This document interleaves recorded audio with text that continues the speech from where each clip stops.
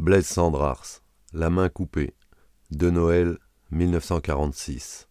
L'Éternel a créé une chose nouvelle sur la terre, la femme environnera l'homme. Jérémie 31-22. Ce loustic de vieille.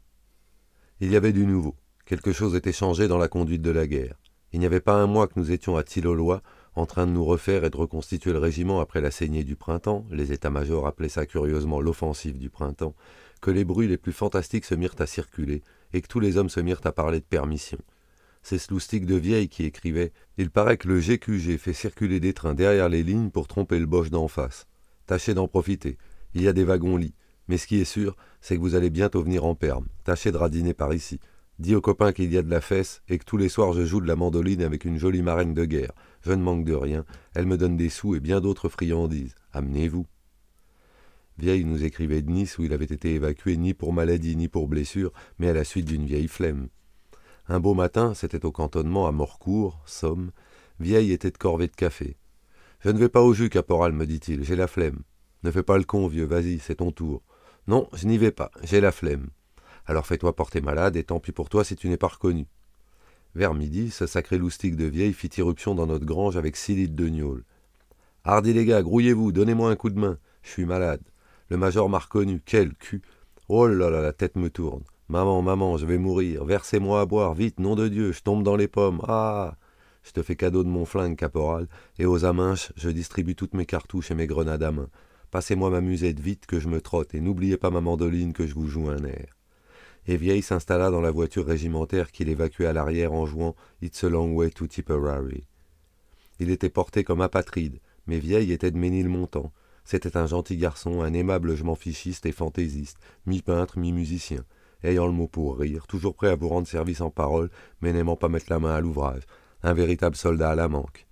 Il n'était nullement indispensable dans l'escouade, mais tout le monde le regrettera après son départ. Et voilà que bientôt, Vieille se mit à nous bombarder de cartes postales. C'était réellement un gentil copain. Il ne nous oubliait pas. Il avait été évacué sur un hôpital de Beauvais et de là sur Nice. J'ai toutes les veines, écrivait-il. Il nous envoyait des cartes postales illustrées où tout est bleu, le ciel, la mer, les villas, les jardins, et jusqu'au jaune illuminé des mimosas et des oranges qui tournent au cramoisi quand le soleil se couche devant ce bleu de la baie des anges. Vieille avait su se rendre indispensable à Nice. Il était tombé sur un toubib à cinq gallons qui avait la manie de vouloir collectionner des souvenirs de la guerre, et Vieille mettait la collection du vieux en ordre, fourbissant des fusils, des casques, des écussons, des boutons d'uniforme, des plaques de ceinturon, munissant chaque objet d'une étiquette circonstanciée, car il avait une belle main, fourrant les trucs dans des armoires vitrées, en faisant l'inventaire, en tenant le catalogue à jour, bricolant, numérotant. Il nous demandait de lui envoyer des bagues en aluminium, des fusées d'obus travaillées, des coupes papier faits d'un éclat déchiqueté, des pipes, des cannes, et, à la réception, il faisait adresser par son toubib un petit mandat au poilu qui avait fabriqué l'objet. Je tiens le filon, m'écrivait-il, pourvu que cela tienne jusqu'à la fin de la guerre. Pour lui, ce tir au flanc, cela a duré jusqu'à la fin de la guerre. Raphaël Vieille fut démobilisé à Nice après avoir culotté je ne sais combien de centaines de pipes à un sou. Il ne fumait que des Jacobs. Mais en attendant, ces cartes postales nous fichaient le cafard au front. Dis aux copains qu'il y a de la fesse ici. Bientôt vous partirez en perme. Il y a de beaux trains. Venez. L'offensive du printemps. Il y a exactement trente ans de cela. Oui, il y avait du nouveau. Mais ce n'était pas l'offensive du printemps, ce grand tralala des états-majors qui n'avait pas abouti. Nous, une poignée d'hommes, nous avions bien percé, nous. Le 9 mai 1915, à douze heures un quart, mon escouade et moi, nous étions sur la crête de Vimy, avec quelques braves types, deux, trois cents hommes en tout, égarés comme nous qui avions poussé de l'avant en sautant quatre lignes de tranchées allemandes, sans tirer un coup de fusil, et le front était crevé. Mais les états-majors qui avaient monté cette offensive et qui nous avaient fait coudre des carrés de drap blanc dans le dos pour que l'artillerie puisse suivre notre progression à la lunette, on sait qu'au printemps, les dépôts de projets de mouvement perpétuel et de quadrature du cercle à l'Office international des patentes à Berne se font beaucoup plus nombreux que durant les autres saisons. Les états-majors, eux, ne croyaient pas à la fameuse percée, et quand nous eûmes atteint la crête de Vimy, que les Canadiens ne reprirent qu'en 1918, avec nos carrés blancs dans le dos, nous fûmes une jolie cible pour nos 75, et, dès que nous bougions, pour les 77 et les gros noirs autrichiens qui nous amochaient, sans parler des Allemands que nous avions dépassés et qui nous visaient dans le dos avec d'autant plus d'aisance. À trois heures de l'après-midi, le renfort ennemi arrivait en autobus de Lille et nous les tirions descendant de voiture à trois cents mètres. Le renfort français n'arriva que le lendemain soir à sept heures, des pauvres vieux, la territoriale. Ils avaient fait soixante-quinze kilomètres à pied. Enfin, nous étions relevés, soixante-douze hommes en tout. Mon escouade n'avait pas trop trinqué. Et le 11 juin, il avait fallu remettre ça à Souchez et à Carency, à peu près dans les mêmes conditions de manque de jugeote et de manque de foi de la part des états-majors, d'incurie, de misère, de massacre, de tuerie pour nous. Sauf qu'on ne parlait plus de percée, les boches étaient alertés. Il paraît que c'est Pétain qui avait monté ça. Pétain ou pas Pétain, c'est tout un. Comme le chantaient les hommes en descendant du chemin des dames, Jean de Nivelle nous a nivelés, et Joffre nous a offert à la guerre, et Foch nous a fauchés, et Pétain nous a pétris, et Marchande nous a pas marchandés, et Mangin nous a mangés. Le nouveau pour nous, c'est que le printemps nous travaillait, et qu'après cette saignée vaine et héroïque, l'arrière commença à se remuer. Les colis arrivaient, les mandats, les lettres, les journaux qui, comme les cartes illustrées de vieilles, nous parlaient de permission prochaine. Il y avait une chance de s'en tirer de se barrer, au moins pour un temps. Il y avait de l'espoir. L'arrière se remuait. Les premières babillardes des premières marraines de guerre nous parvenaient également. L'arrière prenait consistance. L'odeur des femmes montait jusqu'à nous, c'était le printemps. Il n'y avait pas tout à fait un an que nous étions soldats, nous, les plus vieux, et déjà nous avions appris à désespérer tout, nous, les survivants. Environ deux cents hommes avaient déjà défilé dans mon escouade. Je ne croyais plus à rien, mais qu'il me semblait bon vivre. L'époux. Quand je pense à mes hommes nichés dans les différents trous du secteur de Tillolois, à trente ans de distance, je nous vois comme des poux dans une tête. Que faisions-nous là? On mourait d'ennui en proie à la nostalgie de la femme. Est-ce que les poux sont nostalgiques? Ce sont des égoïstes. Mais que peut-on savoir des poux? Quand on les regarde à la loupe, comme je vois aujourd'hui mes camarades, chacun de nous dans son trou individuel, chacun semble immobile, épais. Certains sont translucides avec une croix de fer dans le dos, ce sont les poux allemands. D'autres laissent voir leur estomac ou leur appareil de digestion, un ténu filigrane. Ce sont les vieux briscards, nous les appelions les engagés volontaires, comme nous. D'autres sont légèrement bleutés et paraissent plus délicats. Ce sont les Tunisiens, les plus insinuants. Les peaux rouges sont les poux de cochon, il y en avait beaucoup chez nous. Comme une mouche qui se brosse le ventre puis se passe les pattes sur les élytres. Parfois, un pouce passe une patte sur sa tête chauve, exactement comme Rossi faisait quand il écrivait à sa femme fourrageant sa longue barbe à poux et se grattant le sommet du crâne qu'il avait nu comme un genou. À quoi pouvait-il bien penser ce goinfre, notre bon géant, et que pouvait-il écrire à madame Rossi? Et les autres, tous les autres, que pouvaient-ils bien écrire à longueur de journée qu'ils allaient bientôt venir en permission? On voyait les hommes s'égayer dans les tranchées à la recherche d'un petit coin confortable et s'isoler pour pondre, et se mettre à écrire et à se gratter, à se gratter non pas à cause des poux qui les dévoraient, mais pour attraper une idée ou un mot entre le pouce et l'index. Parfois un homme laissait tout de même tomber son stylo pour se mettre sérieusement à la chasse aux poux. On le voyait alors se déshabiller, inspecter les coutures de son pantalon ou les plis de son ventre, et on l'entendait pousser des jurons de colère quand il écrasait une colonie de poux et de larves dans l'ourlet du pantalon, et des cris de triomphe quand il réussissait à s'arracher un morpion de la peau du ventre. Il reprenait alors sa lettre en surveillant son linge intime. Qu'est-ce qu'un pauvre bougre pouvait bien écrire à sa femme ou à sa dulcinée dans de pareilles conditions, sinon de la poésie? L'amour aussi vif est une hantise, et vous démange et vous dévore vif comme l'époux. Au front, le soldat n'arrive pas à s'en débarrasser. Il lui faut venir à l'arrière, partir en perme pour pouvoir se procurer de longs gants gris et se soulager. Les hommes écrivaient donc, cela les démangeait. À Tillolois, l'heure du vaguemestre était plus important que l'heure de la soupe. Que se passait-il? Même un Rossi arrivait en retard à la soupe, lui, notre glouton. Alors ça, je ne le comprenais pas. Rossi, tué à Tillolois, Rossi mangeait comme quatre. C'était un Hercule de foire, mais dans une bonne patte d'homme, terrible dans ses colères, qu'il prenait comme des rages d'enfant, mais inoffensif car Rossi avait peur de sa force musculaire qui était réellement prodigieuse. Vous comprenez, expliquait-il au copain, je ne connais pas ma force. Je ne sais pas jusqu'où je puis aller. Ainsi, je pourrais la broyer quand je serre la main d'un ami. Rossi, mon petit, mesure-toi que je me dis. Et c'est ce que me répète sans cesse madame Rossi quand elle trouve que j'y vais trop fort. En face d'une difficulté contre laquelle sa force d'Hercule ne pouvait rien, telle que les ténèbres de la nuit, ou l'eau de la pluie qui lui coulait dans le cou, ou le froid, Rossi perdait complètement la tête. Nous avait-il assez fait chier, au début, dans les tranchées de frise, qu'il ne trouvait pas assez profondes, notre bon géant? Rossi mesurait un mètre quatre-vingt-quinze et était large et lourd comme une armoire et Rossi s'en était allé trouver en douce le colonel pour se plaindre que les tranchées n'étaient pas à sa taille et lui demander de les faire approfondir, rehausser les parapets et clayonner les boyaux pleins d'eau, ce qui lui avait valu à lui huit jours de prison avec le motif pour s'être adressé directement à son colonel pour affaire de service et sans passer par la voie hiérarchique. Et à nous qui crevions déjà de fatigue et de surmenage dans ce secteur instable, installé dans les marais, un supplément de corvée exténuante dans ces tranchées spongieuses qui s'éboulaient et débordaient quand on creusait et que l'on ne pouvait approfondir, aménager ni consolider. Et pendant que nous nous esquintions, les pieds gelés, le puni de prison qui devait faire double quart de garde était à genoux devant son créneau et pleurait la tête entre les mains. C'était un spectacle lamentable. Les hommes qui lui en voulaient et ne lui pardonnaient pas son intervention auprès du colon le charriaient et lui envoyaient des pelletés de terre, de boue, d'eau fangeuse sur les épaules et dans la face. Par la suite, tout cela se calma, et Rossi se montra assez bon soldat, quoique se perdant facilement en patrouille. Sans être un nyctalope comme Meyrovitz, le poète yiddish de la rue des Rosiers, qui avait réussi par se faire réformer tellement il avait bien su y faire au chiquet avec cette infirmité qu'il prétendait être congénitale. Je me souviens que Rossi s'égarait régulièrement pour s'en aller droit chez les Boches quand nous montions en ligne devant Dompierre en Santerre, qu'il fallait tourner à gauche et non à droite d'un certain par éclat, c'était le treizième, et je l'avais fait recouvrir d'un enduit de riz, le fameux riz à la colle, dont nous étions écœurés, résidu de toutes les gamelles que nous ne mangions pas, une pyramide de riz qui faisait tout de même une tache blanchâtre et était un repère dans la nuit la plus noire. À droite, c'était le No Man's Land, à gauche, l'entrée d'un entonnoir de mine où nous nous faufilions à la queue leu J'avais beau mettre Rossi derrière moi dans la file, lui dire de me tenir par le pan de ma capote, compter les par éclats à haute voix, quand nous arrivions au treizième, Rossi perdait la tête et s'engageait du mauvais côté.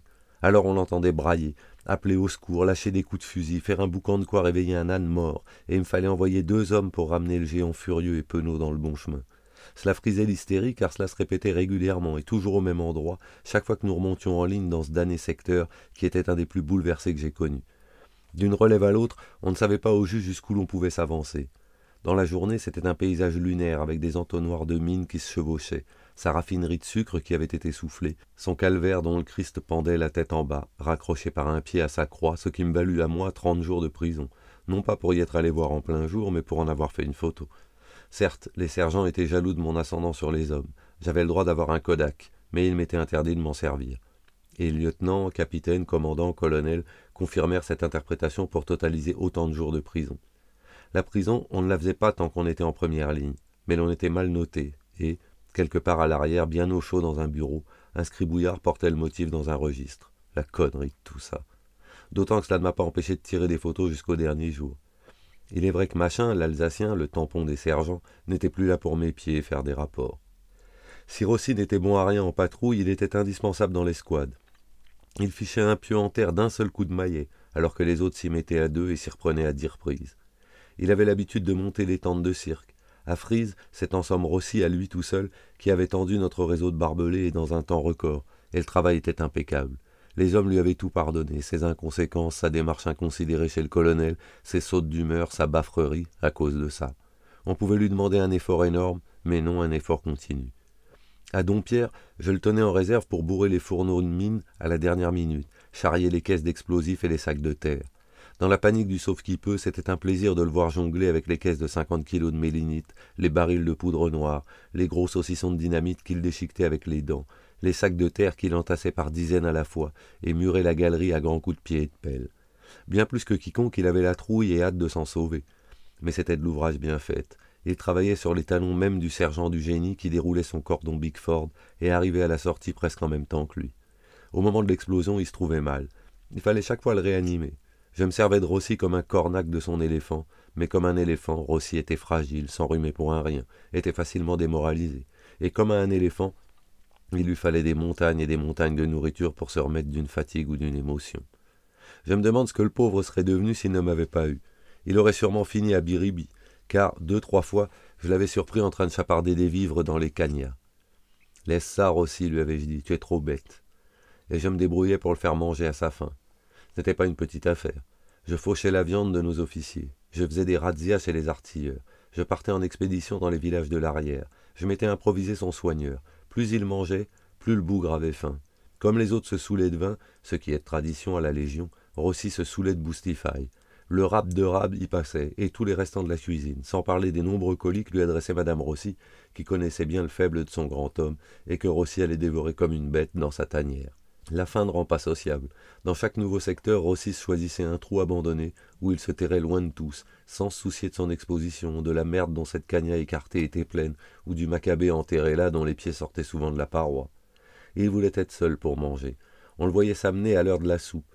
Il tendait sa gamelle, comptait les portions, rouspétait comme un beau diable à propos d'un bout de gras ou au sujet d'un os à moelle, surveillait de près la distribution du rabio et du rab de rab quand il y en avait, échangeait un quart de pinard contre un quart de camembert, marchandait, achetait, car le monstre avait de l'argent, mendigotait, pleurnichait, et on le voyait s'éloigner en direction de son trou solitaire, chargé de boostify, sa gamelle pleine, les suppléments en équilibre sur le couvercle, une boule sous chaque bras, ravi, content, la capote déboutonnée, déjà le ventre à l'aise, marchant à petits pas comme un prêtre portant son Dieu. Il rentrait dans sa tanière, baissait la toile de tente qui embouchait l'entrée, allumait une bougie, s'installait confortablement, ses victuailles éparpillées autour de lui dans la fange et dans la merde, l'ordinaire et les friandises que madame Rossi avait cuisinées pour lui, ses musettes pleines des choses que je m'étais débrouillé de lever pour lui accrochées au pied du mort qui dépassait, et avec qui il se trouvait en tête à tête, et il se mettait à mastiquer. Il avait le sourire. Qu'il était bien, seul. Il n'aurait pas à partager avec le mort. Il mastiquait. Ses dents étaient aussi fortes que ses biceps. Il faisait craquer les os. Il mâchait comme une machine. Tout y passait. Tu as le sourire, hein? Lui disais-je en soulevant la toile de tente pour lui passer encore un extra que j'avais pu dégoter pour lui. Oui, c'est bon, faisait-il. Tu penses à madame Rossi? Non, je mange.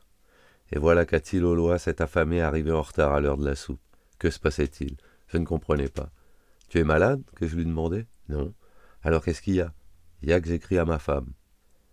Bon, voilà que le printemps travaillait lui aussi cette grosse bête. Qu'est-ce que ça allait donner un éléphant en rute Or, comme la plupart des gros hommes, Rossi était un chaste. Quand on commençait à parler des femmes au cantonnement, et Dieu sait si ce sujet revenait souvent sur le tapis, et bien avant que le printemps commençât son offensive contre nous, l'offensive du derrière avait lancé je ne sais plus quel drôle pour faire la pige à l'offensive du printemps des états-majors, et le mot avait fait fureur, Rossi se levait en rougissant et allait se coucher, tirant la couverture sur sa tête. Hé, Barbapou lui criaient les hommes. Tu ne veux pas un passe-montagne? Fourte-la donc dans les oreilles pour ne pas entendre, bébé, on va t'en sortir des raids. On sait les horreurs que les hommes peuvent se raconter sur les femmes quand ils sont seuls, entre soi. On s'imagine donc les saloperies qu'une escouade de légionnaires surexcités et aux trois quarts ronds arrivait à dégoiser dans ce débat qui prenait l'allure enragée d'un concours du plus beau mensonge, de la plus satanique exagération, du comble le plus frénétique, où chacun cherchait à damer le pion au voisin. Puis l'on glissait aux confidences scabreuses et aux expériences érotiques tout cela raconté dans les termes les plus crus du langage le plus vert, et le vocabulaire si extraordinairement riche d'images, de trouvailles, d'inventions et de précisions anatomiques qui coulent de source de la bouche des parigots. J'étais aux anges d'entendre tout cela, et je chérissais déjà mes camarades rien que pour leur parler. Quelle poésie dans la bouche du peuple, cette frangine des faubourgs. Il n'est bon bec que de Paris. Et dire que nous étions tous des étrangers, des fils d'étrangers, certes, mais à quelques exceptions près, tous ceux qui tenaient le crachoir étaient nés à Paris. Il n'y avait pas un seul paysan parmi nous. Rien que des petits artisans des faubourgs, tailleurs, fourreurs, tapissiers, doreurs sur cuir, peintres en lettres ou en voiture, orfèvres et des pipelets, des musiciens de boîte de nuit, des coureurs cyclistes, des macros et des barbeaux, les petits-fils des révolutionnaires de 1848 venus de tous les coins d'Europe garnir les barricades de juillet, ou ceux des derniers compagnons faisant leur tour de France et qui s'étaient fixés à Paris parce que bons ouvriers, gagnant largement leur vie et ayant trouvé femme. Aussi quelques fils de nobles, tels que le Polonais, le chevalier de Przyzibizewski, le neveu du célèbre écrivain décadent, ou le péruvien de Bengoechea tué au nord d'Arras, le fils du premier banquier de Lima, plus quelques intellectuels de Montparnasse que, comme moi, le langage obscène des bouts en train et leur exubérance enchantaient. Rossi avait bien raison d'aller se coucher. Jamais il n'aurait pu suivre, et pas plus que la galerie des Russes, des Serbes, des Suisses allemands, des Français de l'extérieur, Suisses romans, Belges, Canadiens, qui renouvelaient l'auditoire, et maintenant des paysans, ou plutôt des ouvriers agricoles de tous les pays du monde que le dépôt nous envoyait en renfort à Tillolois. Jamais il n'aurait pu participer à ce jeu brûlant, et surtout pas quand nos aînés, les lascars de la vieille légion, ceux de Sidi Bel Abbès, rappliquèrent chez nous et se mêlèrent au parigot pour entrer dans la ronde avec leurs histoires d'Afrique et de Mouker la flambée devint irrespirable, une débauche vertigineuse de paroles en enfer. Rossi était de ces Italiens qui n'apprennent jamais le français. Il avait les idées lentes, bredouillait, cherchait ses mots. Écrire à sa femme lui prenait un, deux, trois jours. Il en perdait le boire et le manger. Et pendant tout ce temps-là, il ne fallait rien exiger de lui. Il aurait fait un malheur. Mais quand la mort fondit sur lui à Tillolois, Rossi n'était pas en train d'écrire à sa femme. Au contraire, il venait de terminer une longue lettre lui annonçant son départ en permission. Et c'était vrai. Je le lui avais fait confirmer par le cycliste du colonel qui posta la lettre de Rossi à la poste civile. Pour la dernière fois, notre bon géant montait avec nous, nous accompagnait dans notre petit poste perdu, bien en avant des lignes. Il devait prendre le train le lendemain soir. Je l'avais dispensé de corvée, comme il se doit, à l'égard d'un vénard qui va partir en P1, et, comme il se doit, Rossi était allé s'installer dans un coin, à l'écart, une cavité assez profonde sous une vieille souche noircie, pour passer la nuit à manger et à épuiser ses provisions. Que diable, il n'allait rien laisser. Un peu après minuit, juste après la relève des sentinelles, une patrouille allemande, comme cela arrivait de temps en temps, nous lâcha une volée de grenades au petit bonheur, et l'une d'elles éventra aussi. Quand nous accourûmes, il ne vivait déjà plus. Notre ahurie s'était vidée dans sa gamelle. Ça valait mieux pour lui, car le lendemain, les permissions furent annulées, et notre géant furieux eut sûrement fait un malheur, un vrai.